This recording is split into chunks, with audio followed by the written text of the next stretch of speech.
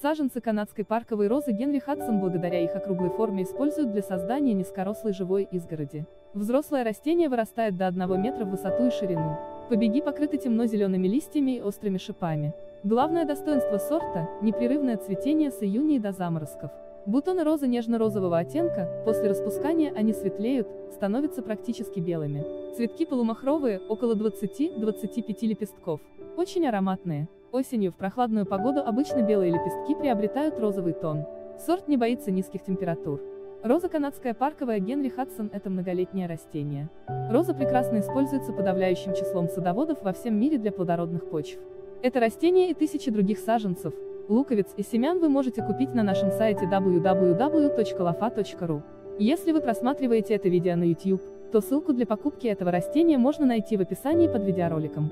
Ставьте лайки, подписывайтесь на наш канал, и вы первыми узнаете о новых растениях для вашей дачи.